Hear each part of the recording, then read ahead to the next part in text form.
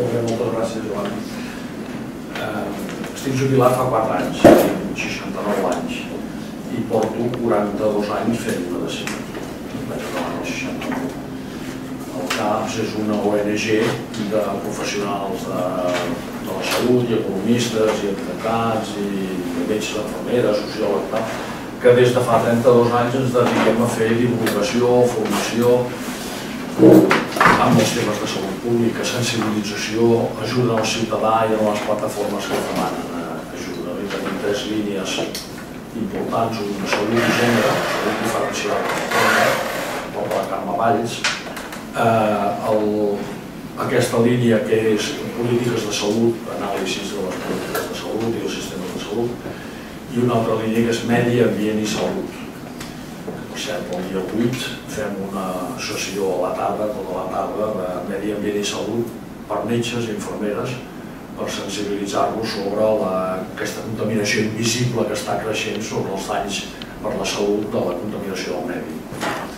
En la Camfic, vol dir que si voleu venir, és una, una sessió gratuïta a la tarda i tocarem contaminació atmosfèrica, radiacions ionitzants, eh, eh, contaminació química interna, etc. Bé, dit això, eh, jo avui us presentaré bastant ràpidament perquè em sembla que tots sou eh, enterats en aquest tema i interessats en aquest tema, per tant eh, hauríem de tenir una mica de temps per, per debat i per preguntes. No? La presentació és una mica llarga, però com que la, us l'enviaré, l'enviaré a, a el Iñaki o el Joan, eh, la podran penjar a la web i es podrà veure més, perquè jo em saltaré algunes diapositives però no l'hagi volgut posar perquè hi sigui, hi sigui tot el material. No? També, de fet, tot això que diré està penjat a la web del CAPS, caps.cat, amb dos o tres documents eh, successius, que algun d'ells té 80 pàgines, diré que són bastant profuns. No? Per què en el CAPS se'ns va eh, ocórrer, o tenir la necessitat de trobar-nos en un grup més ampli que no, no estrictament el del CAPS i, i analitzar el que estava passant.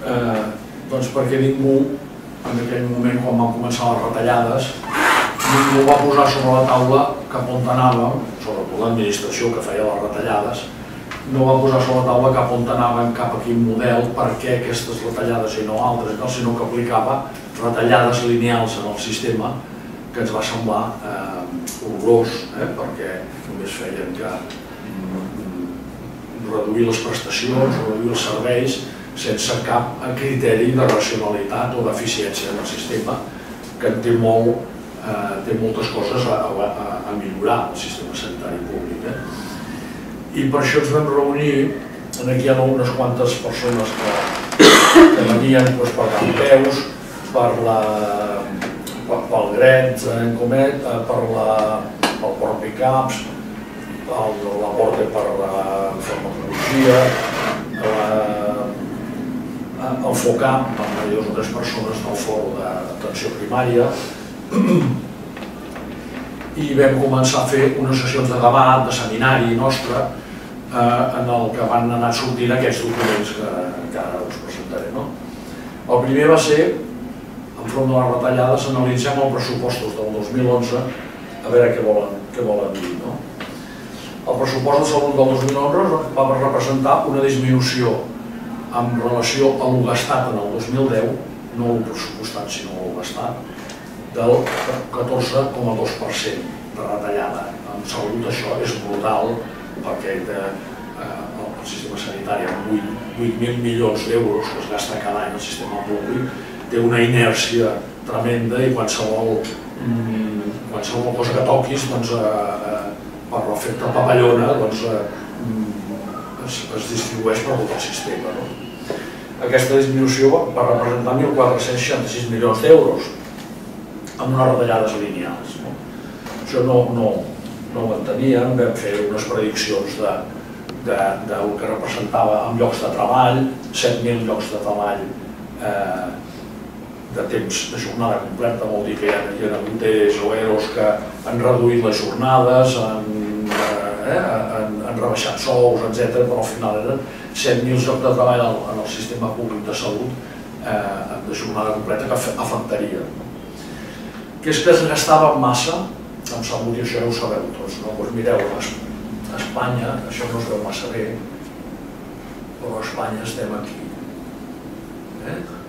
Eh, despesa pública per càpita en salut, en el 2008, que eren les dades que teníem de, de l'Eurostat, Espanya està aquí, eh, Luxemburg, eh, Noruega, Dinamarca, Holanda, Suècia, Àustria, eh, els que es gasten més eh, per càpita en salut, i els últims són Romania, Letònia, Corea, Polònia. Eh?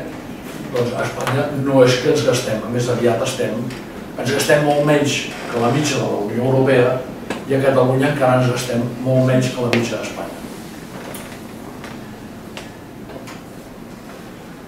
Després en salut en proporció al PIB en el 2006, doncs, la Unió Europea es gastava un 9,2% del PIB, els països de l'OCDE un 9, Espanya un 8,4 i Catalunya un 7,2. I no, no, no es pot dir que gastava massa en salut. El problema són els ingressos. Tot pressupost tenen despeses i ingressos. No és que eh, quan ha arribat la crisi s'ha vist que no hi havia eh, cèntims per fer front ni en aquesta despesa migrada amb salut pública. No? Però no per culpa que es gastessin massa, sinó per culpa que ingressaven poc. A la Unió Europea del 16, la mitja de mm, recaudació per impostos i cotitzacions socials eh, és un, 40, un 42%, i a Espanya un 32%. Aquest diferencial ja és, un 8% de diferència ja és eh, molts milions d'euros que no recapten i a més tenim un sistema impositiu molt poc progressiu, paguen molt més els treballadors que no eh, el capital. Aquí venen unes quantes diapositives que són de l'Agustí Colom, l'Agustí Colom amb una presentació que ens va fer el CAPS, és l'ex síndic de comptes de la Generalitat de Catalunya el tripartit que portava la sindicatura de comptes de Sanitat. I ens va donar molta informació eh, formava part del grup, en el grup aquest eh, no hi he posat però hi havia gent de Comissions Obreres, gent de UGT, gent d'algun partit polític d'esquerres i per exemple l'Agustí Colom que és l'ex-síndic, la Montse Figuerola que és l'ex directora assistencial de l'ICS, eh, doncs el model català ja és un problema econòmic. Tenim 112 proveïdors de salut, entre ells l'ICS, eh? el CatSalut, l'ICS, que és el proveïdor de propietat pública, i després tots els concertats de la XUP o eh? de la CISCAT, Hospital Clínic, 8 organismes autònoms, 8 entitats de dret públic someses a privat, 32 societats mercantils, 22 consorcis i 38 eh, fundacions. Això ja és un desgavell. Només per controlar això hi ha eh, 112 amb entitats jurídiques diferents alguns d'ells, com els consorcis i les fundacions, no han de donar eh, els seus comptes eh, en el síndic de comptes, no tenen obligació de, no tenen obligació de transparència eh, eh, en els pressupostos, etc. Això, deia l'Agustí, això comporta costos socials, sí. L'informe d'avaluació de gestió de la Generalitat de Catalunya del 2004 i el Pla de Racionalització Públic del 2010 diuen que sí, que porta costos socials afegits a aquesta dispersió de, de, de proveïdors. I en canvi, hi ha un altre exemple de eh, si, si, si agreguem serveis, cosa que no és la tendència actual, si ajuntem serveis, tenim dos exemples importants d'abaratiment de costos, com és l'Institut de Diagnòstic per la Imatge, que era molt rentable fins que l'han privatitzat, eh? entrat capital pur, privat, i i el logaritme. El logaritme és una central de compra centralitzada que va començar al Vall d'Hebron, després s'ha centralitzat i fa totes les compres, un magatzem grandiós que està en Sadurní, fa eh, les compres eh, de tot el material que no són fàrmacs eh, i distribueix en els hospitals de l'ICS, a centres de primària, per la nit amb camions, porta, es va, al comprar agregadament eh, abarateix moltíssim el, els productes això ho saben totes les empreses, que no eh, grans, que no es fragmenten, sinó que eh, s'ajunten, els bancs s'estan ajuntant per ser eh, més eficients eh, amb economia d'escala. Una altra cosa és que no donin eh, més autonomia de gestió a les sucursals, eh, que és el que hauria d'haver fet l'ICS fa temps.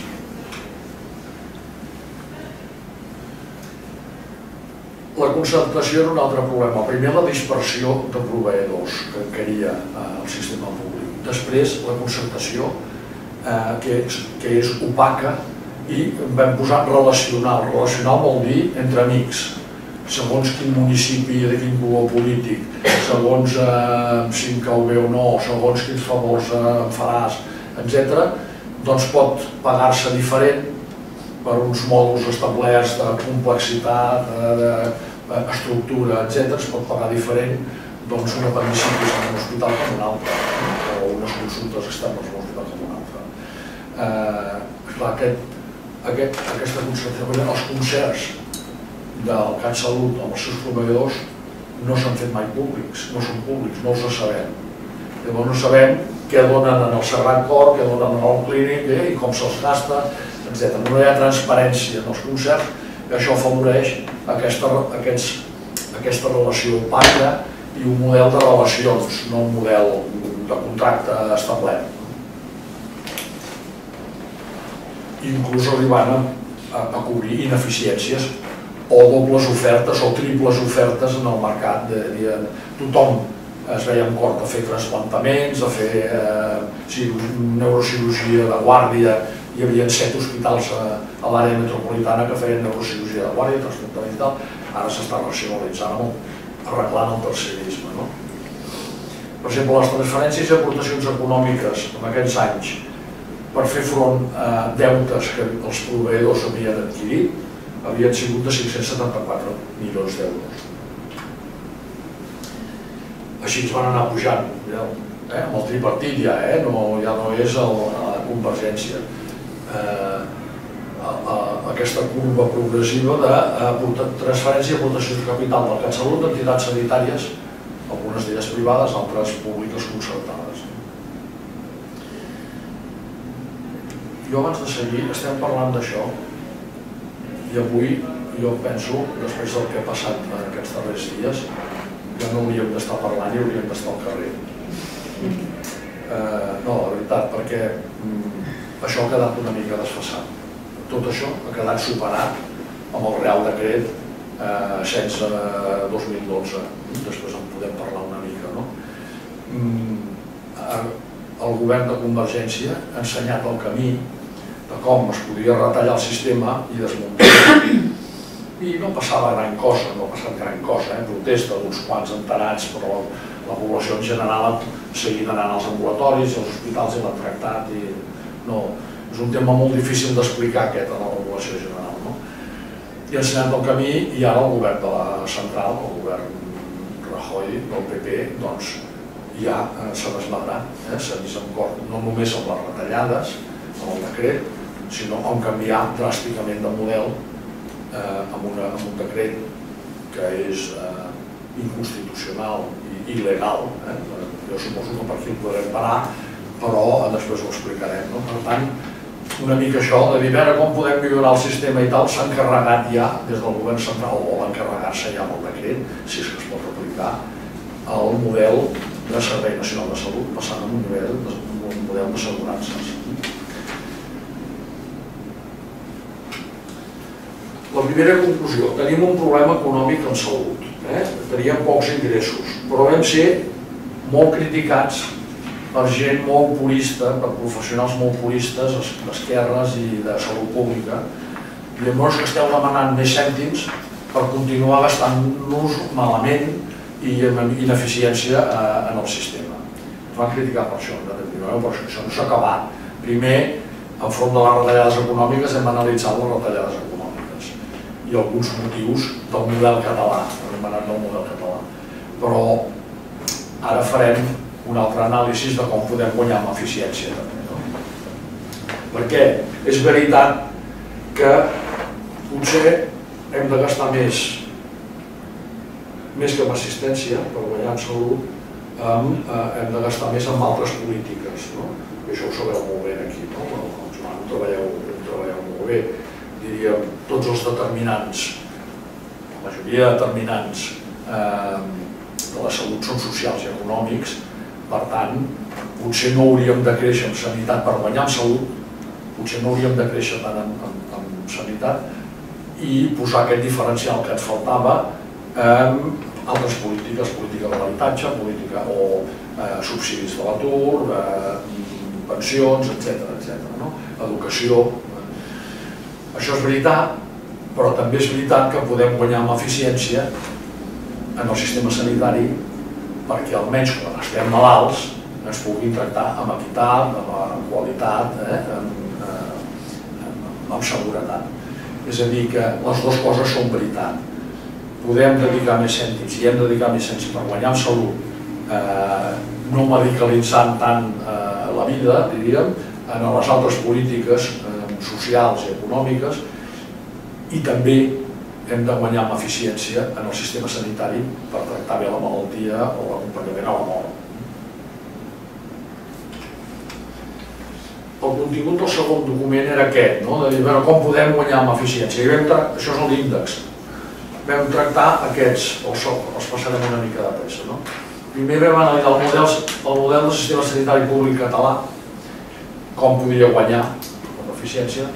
Després l'atenció primària, això ho va preparar Eh, el primer, el primer vam, constàvem que uns ponents preparaven el tema en un document, ens el llegíem tots via correu electrònic i després fèiem unes sessions de debat d'aquell document, enriquint-lo o posant-hi pegues, etc. No?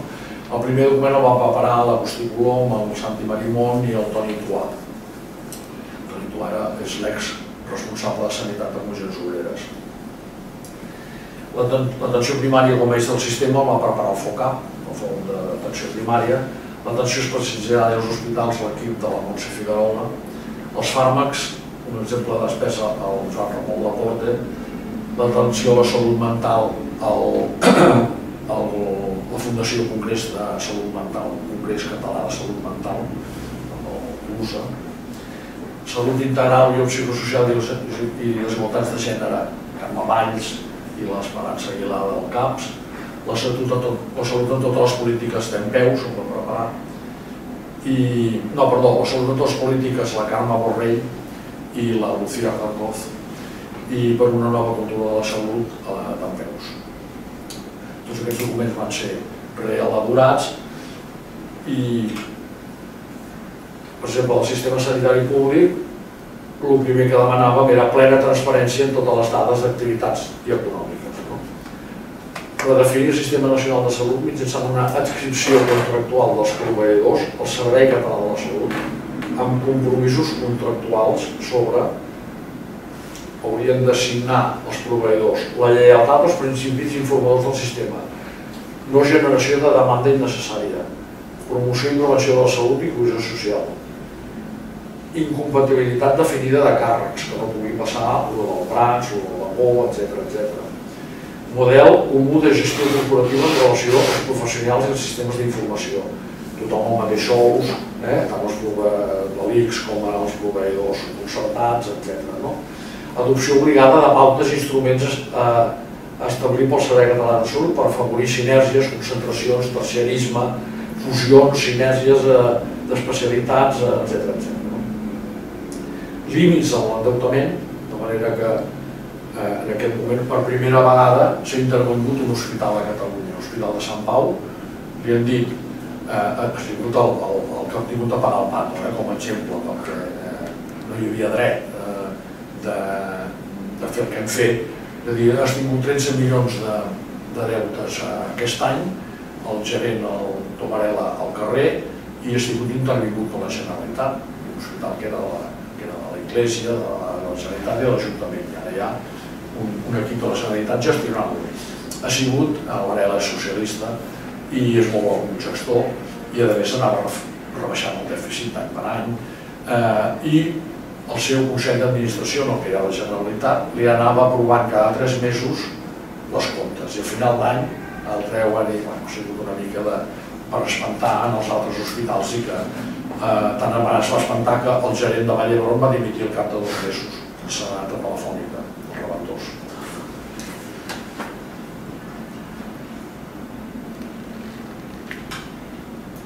bueno, propostes d'atenció primària no, no, no, no hi entrarem, eh, sabeu, eh, el sistema assistencial ha d'estar basat en l'atenció primària realment, a porta d'entrada, i el gestor de tot el procés del pacient a dintre del sistema, els especialistes dels hospitals han de ser consultors només, tornar-ho a la primària, etc per això necessita la primària més recursos, més recursos del que té, això no ho podrà fer, més prestigi dels professionals, estan més prestigiats i tal, i més autonomia de gestió eh, en els centres i en els equips. Aquestes tres coses podria aconseguir una bona primària molt resolutiva, que és la signatura pendent del sistema. Està, tenim un sistema dual, car, eh, X i els proveïdors privats o, o públics o concertats, i un sistema basat en hospitals. En la línia de costa de Badalona a Blanes hi ha cinc hospitals. Hi ha un hospital cada 12 quilòmetres, dos a Badalona, una Calella, una Mataró i una Blanes. Cinc hospitals, cada, cada 12 quilòmetres un hospital que vol fer de tot. Això és un sistema caríssim, basat. Tenim 52 hospitals a la XUP, eh, basat a, a, en l'hospital, centrisme no? i en la medicalització. És un sistema molt car. Més propostes d'atenció primària, la necessària transformació dels hospitals, eh? no, eh, no organització per serveis, sinó per processos, eh? actuar com a consultors en el territori, etc etc. noves formes de gestió. Aquí hi va haver una mica de... Al final vam dir, escolti, què entenem per empresa pública?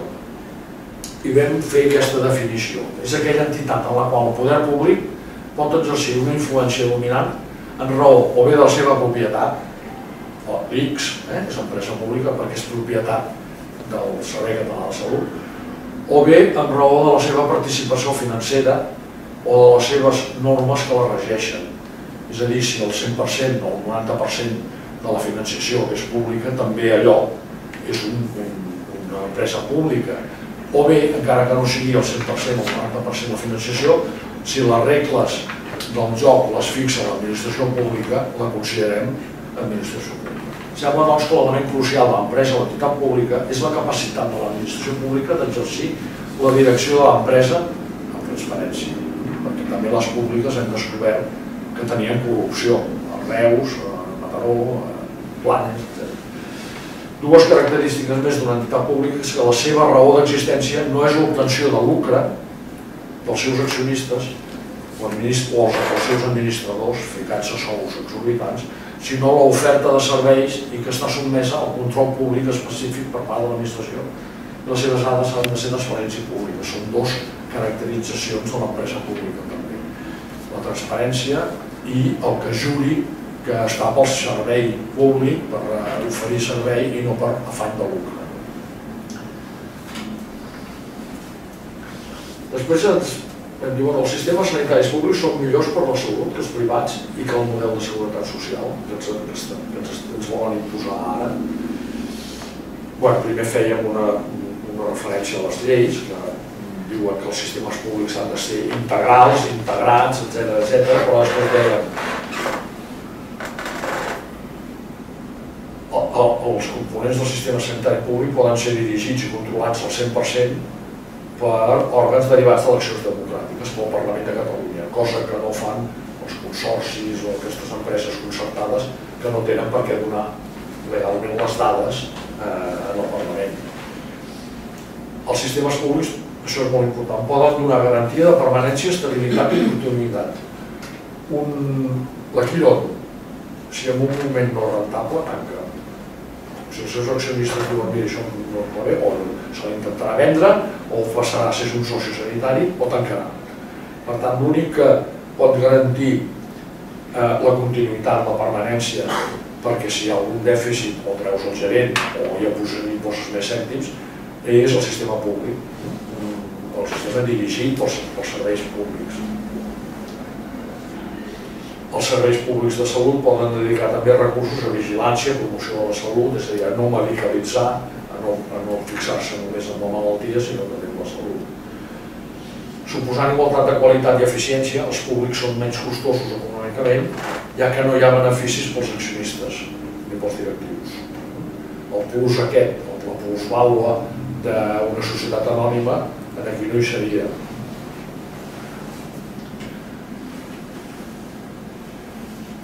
Els públics i els concertats asseguren l'equitat, la igualtat d'accés, el tracte igual per tothom en base a la solidaritat impositiva. No has de pagar segons la teva renda, amb copagaments eh, o amb el que ara es pretén amb el sistema d'assegurances. El sistema d'assegurances del decret nou diu hi haurà una cartera que encara està per definir, una cartera bàsica de prestacions, una cartera complementària i una cartera eh, accessòria. Les comunitats autònomes podran fer accessoris el que vulguin pagant-s'ho elles. Si tu vols fer canvi de sexe o que l'avortament sigui pagat públic pel, pel sistema públic, doncs has de pagar-ho, perquè segurament hi haurà autonomies fatxes que diran que l'avortament no, no entra en el sistema públic. Esclar, això és molt greu perquè eh, voldrà dir que no eh, garantitza l'equitat, els sistemes impositius no ho financiaran del tot, hi haurà eh, tu hauràs de subscriure el millor mutualitats que cobriran el que no cobreix la cartera bàsica. No? Quan més unitaris integrats als serveis, majors possibilitats d'ajustar-se a la planificació, de fer sinergies, de no fer dobles eh, ofertes interessades, etc. La formació dels professionals, la gestió del coneixement, també és molt millor amb un sistema unitari i majors possibilitats de participació real i de control per part dels ciutadans i dels professionals, amb un públic que no amb entitats privades entre mig. I llavors dèiem quins valors i condicions han d'assignar els proveïdors dels serveis de salut escrits al Servei Nacional de Salut. Hem dit, lleialtat als valors del sistema, certificar que és una empresa sense afany de lucre ni de negoci, que la seva ho havia d'assignar el Clínic, Sant Pau, el Mar, eh, que no són de l'ICS. Eh? Que la seva oferta de serveis vindrà sempre condicionada per les necessitats planificades en els plans de salut de l'administració pública, en el, en aquell territori, aplicar els programes de gestió corporatius del Sistema Nacional de Salut, sous, eh, etc.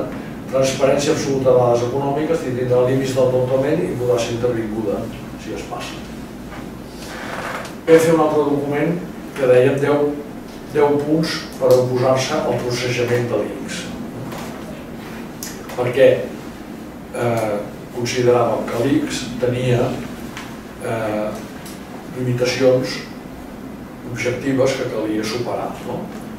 Primer que eh, les limitacions de funcionar per un pressupost administratiu, amb un interventor, que dona molt poca capacitat de gestió àgil i dinàmica en un sistema sanitari que està als 365 dies de l'any obert, eh, amb necessitats de personal canviant segons eh, si hi ha més epidèmia i tal, i en canvi un pressupost tancat administratiu que qualsevol cosa que te sortís de, de la, del capítol 1 de personal i tal, diu no, no tens partida i tal, això és una limitació importantíssima L'altre, la gestió de personal amb criteris funcionarials, eh? plaça en propietat, borsa de treball, no pot entrar qui vulgui, sinó que està dos anys en la borsa de treball, etc. I visió molt centralitzada en la pròpia institució, a l'ALMES, i les seves dinàmiques internes administratives molt enquilosades. Aquests eren tres problemes objectius. Però nosaltres vam pensar, vam dir, això es podia arreglar sense fer per la llei òmnibus el processament de l'ICS això es podia arreglar amb la llei de l'IRIX del 2007, donava mm, possibilitat d'arreglar aquestes tres coses. Eh? No, eh, eh, va ser definit com una empresa pública, per tant ja no eh, el personal podia ser laboral, no, no funcionar per pressupostos, tenint intervenció a i només, i mm, donar autonomia de gestió eh, no burocratitzada, sinó de gestió en els territoris i els serveis però no es va fer en la, la llei de, de l'ICS del 2007 donava possibilitats, però perquè sigui, el tripartit eh, i els proveïdors privats doncs, ja, ho van, ja els anava bé que no es fes, perquè continuaven criticant l'ICS com un monstre enquilosat, eh, 40.000 funcionaris. Eh, doncs eh, no es va fer, no es va fer el desplegament de la llei de l'ICS per superar aquest, aquests tres problemes importants però nosaltres aquí dèiem doncs, eh, les 10 raons estan penjades també no, de, de, de com millorar l'IC sense trossejar-lo. I en conclusió, no és veritat que haguem estat massa en sanitat, ni en educació, ni en altres prestacions socials. No és veritat. El nostre estat de benestar estava molt retrasat en relació a la mitja europea. El que fallen són els ingressos públics per pagar tot això. És veritat que més despesa en sanitat no vol dir més salut, cal despesa en tots els determinants. El nostre sistema sanitari pot ser més eficient, equitatiu i sostenible, calien millores aprofitant la crisi, no retallades lineals, sinó de dir, mira, anem cap aquí i retallem en aquí però ho posem en allà, perquè està molt bé tancar el cap de la guinaueta de nit. I això no s'ha explicat, i els pobles de la guinaueta estan tancats a dintre encara des de fa tres mesos. No? Però està molt bé perquè s'ha fet el quart d'Horta, que té més capacitat de retribució productiva, té analítica, té radiologia, té boxes d'observació i no passa res per anar de la Guinaueta a Horta, que hi ha 500 metres de distància a peu. Eh? Però, esclar, s'ha dit, no, tancarem i tal, la gent s'ha espantat, s'ha polititzat molt el tema i no es poden fer aquelles mesures de dir, sí, no, no pot ser que hi hagi urgències a tots els caps, en els 50 caps de Catalunya, ai, de Barcelona, eh, és diferent al medi rural, si no parlaria, no, no, és inútil perquè un metge, un fonendo i una infermera no tenen cap capacitat resolutiva i en canvi farem 10 QAPs. Falta inaugurar, que s'inaugura d'aquí 3 mesos, el, el QAP de Sant Andreu. Hi haurà 10 QAPs, a comptes de 50 CAPs, amb capacitat resolutiva Penseu com baixant les urgències hospitalàries al 40% des que s'han obert els CUAPs. Cotxeres, Borbó i Horta tenen un èxit brutal. 14 o 15 ambulàncies cada dia, a més de la gent que hi va a peu o amb el seu cotxe. Vol dir que les urgències de nivell 4 eh, i 5 i, i 3, algunes del, el 3 és el que ja va horitzontal. Algunes del 3 van en els CUAPs, ja s'ho creuen la gent, no? I només les emergències van en els hospitals que han d'anar.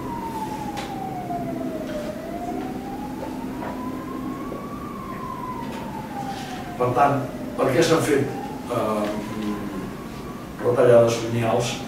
Eh, perquè hi havia un, un model ocult que no s'ha explicitat, que era desprestigiar, aprimar i desfragmentar i destrossar els sistemes públics per donar negoci, més negoci a la iniciativa privada, als seus amics.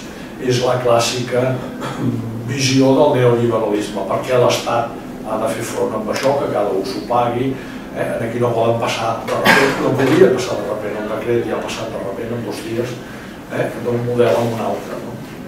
I en canvi Convergència no s'havia atrevit, però eh? eh, anava, anava desmembrant el sistema públic, desprestigiant-lo per fer-li perdre qualitat, desmoralitzar els professionals, per anar donant de menjar aquests 8.000 milions de salut, en aquest moment hi ha 5.000 i pico, estan en els proveïdors no són privats, eh? n'hi ha pocs privats en no Una clara, eh? ens hi hauríem de, hauríem de sortir al carrer, un clar despilfarro, es tanquen serveis públics i es dona concert al Sagrat Cor, que abans era l'Aliança, però ara és Capio, el primer grup empresarial privat d'Espanya.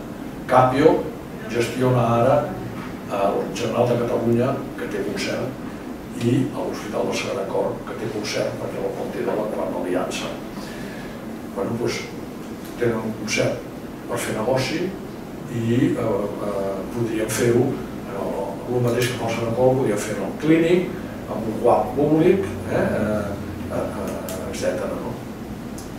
Aquest és un exemple a Barcelona. De, es manté concerts amb la privada com a negoci pura i amb Capio, a més, que és emblemàtic, ara US, que és l'altre gran grup, s'ajunta amb Quirón. Clar, tothom ara s'hi veu en cor perquè perquè era un negoci. Bé, i què ens proposàvem ara, quan una vegada mm, fet aquests documents que estan penjats i dir, bueno, aquests documents que serveixin a la gent que vulguin veure cap a quin model haurien de treballar i tal. Ara ens proposem i estem parlant amb entitats de demanar transparència absoluta al Servei Català de Salut, que faci públics els contractes i convenis del Servei Català de Salut per llei haurien de ser públics perquè són diners públics, per tant voldríem veure com es gasten aquests diners públics, què li estan donant al Sagrat Cor i fer públics en els informes anuals de la central de resultats. Acaba de sortir el tercer informe de la central de resultats de la Generalitat. Està penjat a la web. El tercer informe de la, de la central de resultats. I veureu coses espectaculars. Per exemple, la infecció nosocomial als 52 hospitals de Catalunya hi ha unes diferències de uns tenen una infecció nosocomial del 4 o 5% i uns altres del 14% eh? hi ha una gràfica brutal, o les eh, cesàries, els parts per cesària doncs també tripliquen en alguns hospitals, sobretot en els privats, el, el percentatge de parts eh, en els públics, excepte, eh, eh, excepte Vall d'Hebron i Sant Joan de Déu, que ja els ha de triplicar perquè fan parts d'alt risc i per tant és més, és, és més lògic que també tinguin més cesàries, si tenen neonats, etc. No? Però la cesària, per exemple, és un indicador de qualitat hospitalària importantíssim com una infecció nosocomial. Bueno, això són, aquesta central de resultat dona aquests resultats en gràfiques molt maques, però no posa el nom de l'hospital. Eh? Vas veient la gràfica i nosaltres diem, escolta, això el ho ha de saber. Ciutadà i la ciutadana ha de dir, escolta, jo no vull anar a aquest hospital que té tres vegades més d'infecció nosocomial que aquest altre. Per això no fan perquè eh, el model relacional, no? És a dir, escolta, vostè tanqui, no el concertarem més perquè és un inútil, eh, anys tenint aquesta, eh, o aquesta mortalitat ajustada per risc amb, amb, amb infart de miocardi o que sigui. No? Volem saber del Servei Català de Salut, els ciutadans, volem saber què es gasta cada proveïdor, els concerts, i quins resultats té. Els noms en la central de resultats. I després, que ens proposem doncs, denunciar el Real Decret 16.212 perquè acaba de males formes amb el model de sistema públic de salut que és inconstitucional i, atenta als drets fonamentals adquirits. Ahir vam tenir la darrera reunió del grup del CAPS analitzant el decret. Trobarem un document, eh? aquest matí també jo redactant i l'hem enviat perquè hi hagi aplicacions. No? Perquè el Real Decret aquest, per Real Decret, afecta a cinc lleis fonamentals. A la llei de general de sanitat del 86, en la llei de qualitat i eh, unificació del 2003, el en la llei de salut pública del 2011, en la LOSC, en la llei d'ordenació del, de, del sistema públic català del 2006. Afecten aquestes lleis, per exemple, entre altres coses, els primers que tindrien de portar-ho al Constitucional és Convergència els, i Esquerra, els independentistes, perquè treu competències actuals, el decret treu competències a lleis i a l'Estatut de Catalunya. Eh? Eh, per tant, és inconstitucional perquè afecta a lleis superiors, a les pròpies competències de les, de, les autonomies, o de l'Estatut de Catalunya en concret. Per tant, és una, una llei, que, que és un decret, que és precipitat. És una llei omnibus a manera de decret eh, eh central. No? És mm, eh, caòtic eh, en les seves mesures i només, fixeu-vos només en una cosa, només ens hi hem de fixar una cosa, tot l'altre és manejar la perdiu. Tot de, el copagament, que és molt complicat, si tens una renta no sé què, tindràs de pagar el 50, un altre tindrà de pagar el 40, l'altre tindrà de pagar el 10, però si és un, un pensionista que tingui poca pensió, al cap de 6 mesos li podran tornar a una oficina, eh? això voldrà dir canviar totes les targetes de, sanitàries de tot Espanya, etc. Bueno, és una cosa caòtica, hm? que es fixa molt en el tema de medicaments, que fixa tres nivells de cartera de serveis, que es fixa també amb el tema del personal, eh? laboralitza els últims funcionaris que hi ha, però això és la xocolata del lloc. Eh? El més important és que diu el Servei Nacional de Salut, el Servei eh, de Salut Pública, atendran en els beneficiaris i els assegurats de l'estat espanyol. Això vol dir que el que no hagi cotitzat de la Seguretat Social, una altra vegada tornem, tornem a fa 50 anys. Eh? La llei de la Seguretat Social és de l'any 1963. la llei de la Seguretat Social que deia això és de 1963, fa 50 anys. Eh? I era el model Bismarck, el model alemany d'assegurances. Tu pagaves un seguro, eh? L'empresa pagava un tros, el treballador paga un altre tros, i amb això, amb la quota patronal i la quota de, del, del treballador, es pagava la seguretat social. Eh? Eh, entre ells l'assistència, l'INSAU, que era el, el que donava assistència. L'INS donava, era el d'economia, l'INSERSO era de prestació social, etc. No? Doncs tornem aquí perquè diu tindran assistència gratuïta pel servei de salut el, els beneficiaris assegurats. Per tant, algú que no hagi treballat mai, els joves, eh, que no tingut mai treball, no tindran dret a l'assistència. Els immigrants que no tenen papers no tindran dret a l'assistència. Eh, perquè els que estan en situació irregular, diu, que estan empadronats, però no tenen papers perquè han perdut la feina i estan a l'atur, no tindran dret a l'assistència. Vol dir que, eh, i a més, amb, amb, amb carteres de serveis que estan per definir, un interterritorial definirà quines carteres de serveis, la bàsica, la complementària i l'accessòria, o no sé com li diuen, que vol dir que potser la bàsica és molt bàsica i l'altre tu tindràs d'assegurar tu en, en diferents eh, companyies si vols, com ara passa doncs, amb l'ortodòncia o amb altres coses. No?